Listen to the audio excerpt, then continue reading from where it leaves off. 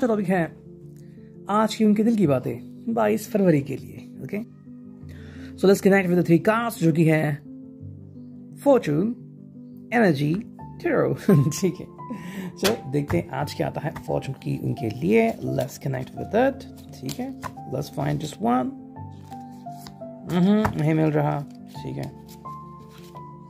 नहीं मिल रहा। यस मिल गया।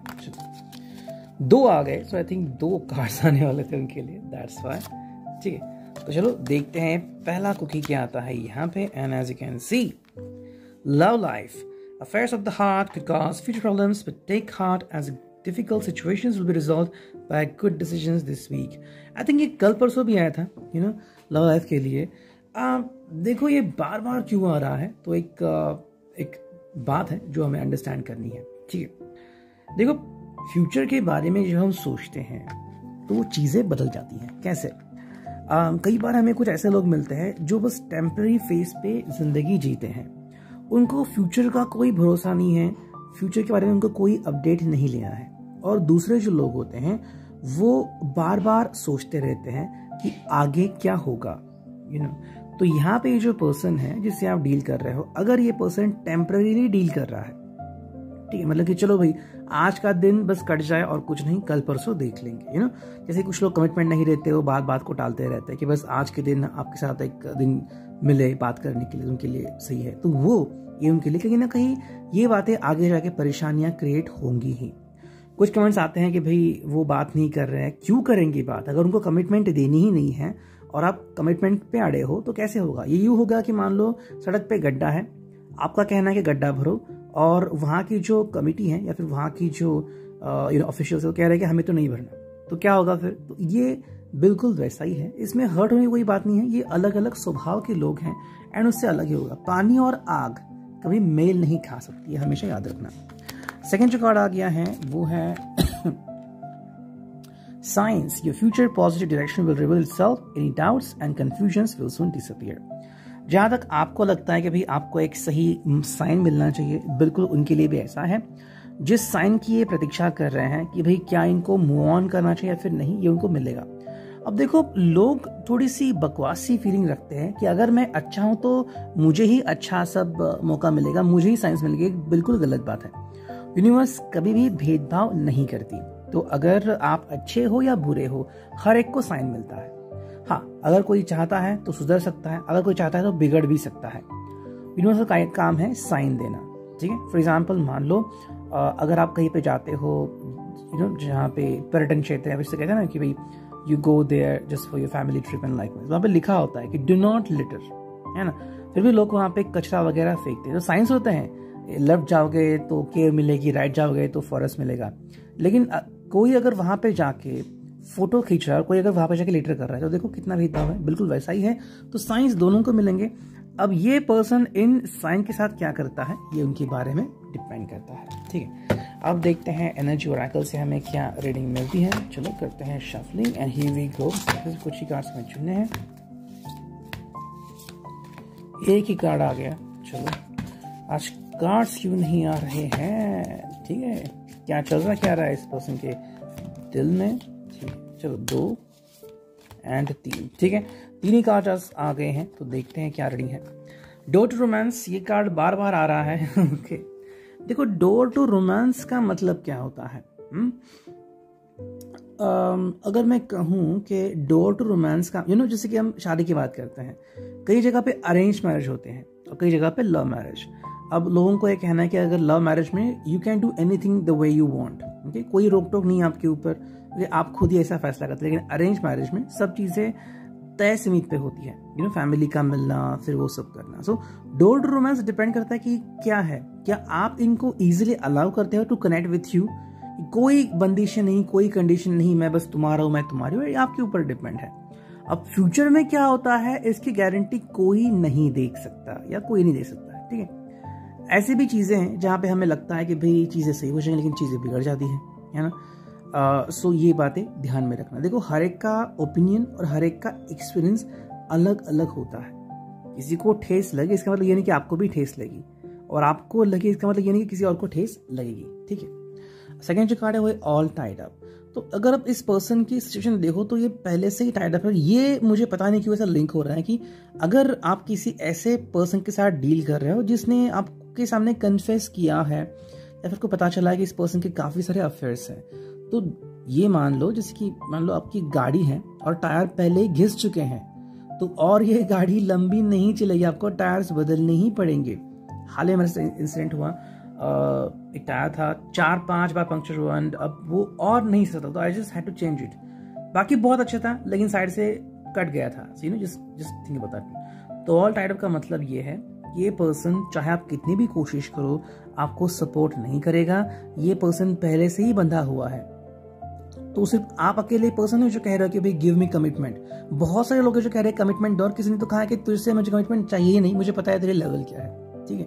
Think about that one and जो थर्ड कार्ड है वो है रेस्ट एंड रिजुविनेशन ओके अब ये कार्ड जो है सिंपल थिंक ये पर्सन जो है, वो थोड़ा सा रेस्ट करना चाहता है और अपने ज़िंदगी में आगे बढ़ना चाहता है। मैंने कहा अपनी ज़िंदगी में, ना कि आपकी ज़िंदगी में, ठीक है? इसका मतलब अगर इसको हर्ट है, अगर ये परेशान है, अगर आप भी इसको परेशान कर रहे हैं, फिर अपने किसी गुस्से के कारण या किसी वजह के कारण ही अगर परेशान है तो ये बिल्कुल ही कॉन्टैक्ट कट कर देगा। ना ही मुझे किसी से बातचीत करनी, ना ही मुझे किसी से कॉल उठाना है, ठीक है? जैसे मैंने कहा मेरे फ्रेंड के साथ कि वो बहुत कई कई बार भड़कता है, कई बार डायरेक्टली बात करता है तो किसी को सहन नहीं होता। तो उसकी फ्रेंड ने उसको ब्लॉक कर दिया, ठीक है? सो सिमिलरली ऐसा होता है, फिर ये पर्सन ने भी ब्लॉक कर दिया तो इससे कुछ फ़ायदा नहीं होता। बल्कि दिमाग में आज भी उसके दिल में है कि why did she block me okay भाई गलती की है, सजा तो मिलेगी, ये हमेशा याद रखना। तो इस पर्सन के लिए बस इतना ही है। मैं इसको राइट या रॉन्ग नहीं कह रहा हूँ, लेकिन हाँ क्योंकि देखो, हर एक की सिचुएशन अलग होती है। कई लोग आते हैं और मुँह उठाए मुझे कमेंट करते हैं कि भाई, हमारे साथ ऐसा क्यों नहीं हो रहा मैनिफेस्टेशन क्यों नहीं हो रहा? तो मैंने पहले उसका जवाब दे दिया है कि मैनिफेस्टेशन क्यों नहीं होता, उसका आपके ऊपर डिपेंड है। और सेकेंड बात कि हर एक की सिचुएशन अलग है and I am not doing a personal reading over here ठीक है? तो एक ध्यान में रखना। तो ये हो गया रिगार्डिंग दिस वन इसको भी रखते हैं हम यहाँ पे। एंड फिनाले करते हैं टैरो के साथ देखते हैं क्या रेडिंग आती है। चलो टैरो से हमें क्या रेडिंग मिलती है? वाह इतने सारे कार्ड आ गए, क्या मैं लूँ?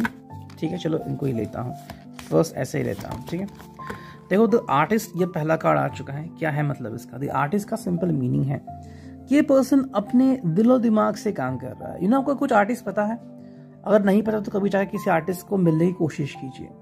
जैसे कि मान लो कोई हीरो है कोई हीरोइन है एक्टर एक्ट्रेस ठीक है? आप उनकी मूवी देखते हो बहुत अच्छा लगता है। लेकिन एक्चुअली में अगर जाकर उनसे मिलोगे ना तो जो उनके नखरे होते हैं, आप एक मिनट भी बर्दाश्त नहीं कर सकते। तो ये पर्सन कुछ ऐसा है जब तक ये पर्सन आपसे एज ए फ़िल्म मिल रहा है, आपको ये बहुत अच्छा लगेगा। जैसे उसने नखरे शुरू की, आप कहेंगे, भाई आई डोंट वांट यू ठीक है? सेकेंड जो कार्ड है, वो है ten of wands as you can see खुद साइन यहाँ पे आ चुका है। अब बस हो गया, बहुत हो गया। ये बस उनकी तरफ़ से नहीं है। आई थिंक ये साइन कहीं ना कहीं आपके लिए आ चुका है। एरिज लियो सैश फायर का एक कार्ड है कि कई बार रिलेशनशिप में आप ओवर करते हो ओवर डू आपको लगता है कि ये बहुत ज़्यादा हो गया, अब आप इससे ज़्यादा और सहन नहीं कर सकते। ओके एंड ये आपके लिए है कि अगर आपको लगता है कि ये पर्सन बदलने वाला है नहीं तो सबसे ज़रूरी बात, उसको बदलने के लिए कन्फेस भी ना करो। ठीक है? जैसे कल ही मैंने देखा कि यू नो मुझे, मैं जा रहा था गाड़ी से फैमिली बैठी थी and I was driving and दो तीन लड़कियाँ दिखी मुझे बाइक पे थी। मैंने कहा, चलो, ठीक है। ओवरटेक करने के यार यार, बहुत डर लगा मुझे। चार लड़कियाँ थी विदाउट हेलमेट खचाखच भरी हुई। अगर उनको कुछ हुआ, उनके एक न्यूज़ आ गई थी पेपर में कि तीन लड़कियाँ बाइक पे जा रही थी और उनका ध्यान हटाया, कुछ प्रॉब्लम आ गया। गाड़ी टकराई सीधे पेड़ से और तीनों वहीं पे वही ढेर हो गई।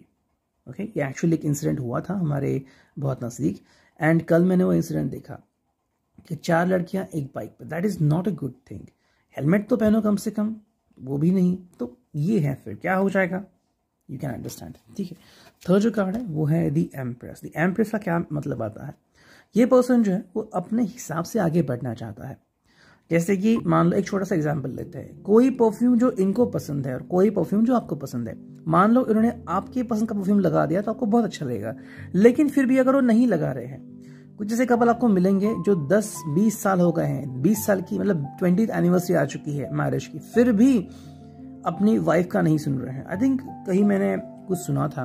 एक यू नो एक कम्युनिकेशन मुझे किसी ने कहा था कि शादी को 25-30 साल हो गए थे।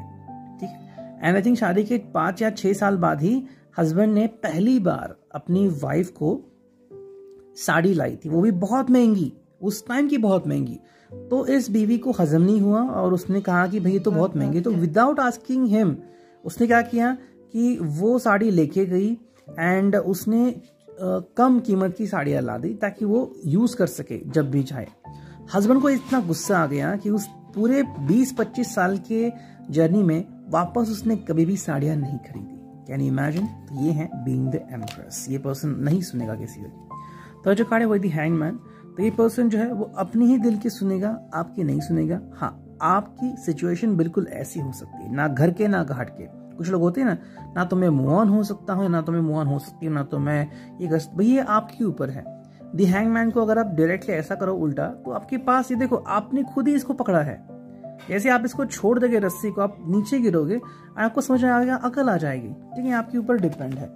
नेक्स्ट जो कार्ड है यहाँ पे, वो है the world as you can see the world में हमें क्या दिख रहा है कि भाई, ज़िंदगी कैसी है?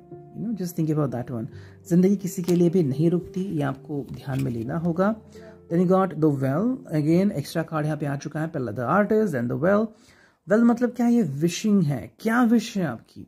सच्चा प्यार अगर विश है, और अगर आपको पता है कि ये पर्सन आपसे सच्चा प्यार नहीं करता, फिर भी कह रहे हो कि इस पर्सन ने मुझे सच्चा प्यार करना चाहिए। यू हो गया कि आपको कोई, मानो आपको पंच खरीदनी है नेक्सॉन खरीदनी है, और अभी खरीदनी है, और जहाँ पे खरीदनी है, आपको सिर्फ़ व्हाइट कलर चाहिए, लेकिन वहाँ पे सिर्फ़ डार्क एडिशन में है, और व्हाइट कलर आने वाला नहीं है। क्या करोगे आप? आपका प्रॉब्लम है, उस पर्सन का प्रॉब्लम नहीं है, ठीक है? नेक्स्ट कार्ड है, वो है page of swords as you can see बस कल्पना करना, ये इस कार्ड में दिख रहा है, बस कल्पना करते जाना। So I think somewhere you are doing this जिसको लग रहा है ना कि मेरा पर्सन मुझे भटका रहा है या फिर मुझे केयस कर रहा है मेरी ज़िंदगी में, आप खुद उसको केयस करने दे रहे हो।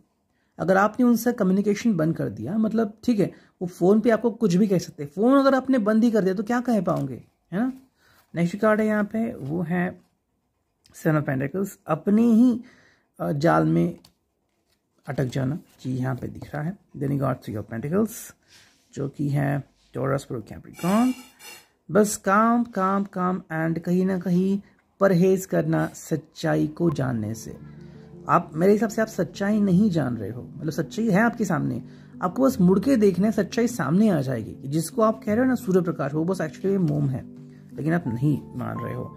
एंड फाइनली जो दो कार्ड है, वो है ten of swords and king of swords बहुत ही खूबसूरत सा रीडिंग यहाँ पे क्या दिख रहा है? Ten of swords king of swords कि बस हो गया, बहुत हो गया। ठीक है? सो डू अंडरस्टैंड दैट कई बार कुछ चीज़ें आप ओवर करते हो, फिर आपको ही तकलीफ़ होती है। टेन ऑफ़ का मतलब क्या है कि भाई एंड इस पर्सन के हिसाब से देखो तो भाई ये पर्सन जो चाहे वो डिसीज़न ले सकता है। अगर इसको लग रहा है कि आप वैल्यूएबल हो he will be with you फिर चाहे टेन ऑफ़ सॉर्ड आ जाए किंग ऑफ़ सॉर्ड आ जाए, उसको कोई परवाह नहीं है। लेकिन अगर ये रिश्ता पहले से ही ओवर है तो ये बिल्कुल परवाह नहीं करेगा आपकी, ना आपकी इमोशंस की। वो आगे बढ़ता जाएगा। Raiding half to resonate